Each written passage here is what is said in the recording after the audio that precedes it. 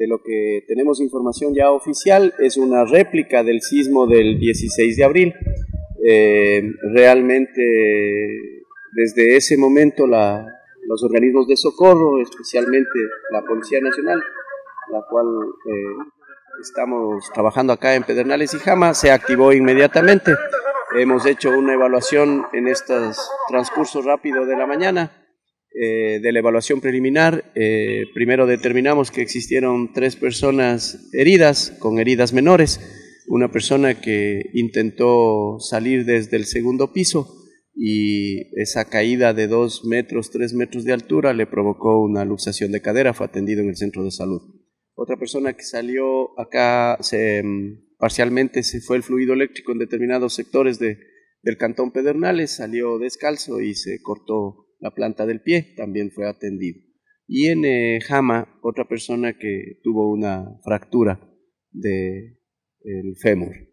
Eh, en cuanto tiene que ver a las estructuras, em, muchas estaban debilitadas, pero no han sufrido eh, el desplome, digamos, van a continuar los procesos de demolición. a partir de las 7 de la mañana nos activamos nuevamente como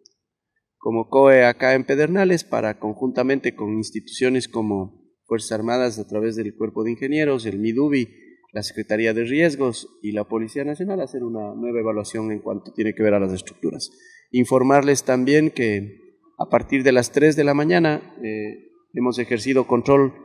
en todas las carreteras que unen a, la parte norte de la provincia de Manabí al sur de Esmeraldas. Eh, se encuentran habilitadas desde Atacames, Muisne, Mompiche, Chamanga, Beche y Pedernales, y de igual manera lo que viene desde la Concordia, el Carmen, eh, por Pueblo Nuevo, el Achote, Pedernales, están absolutamente habilitadas. La,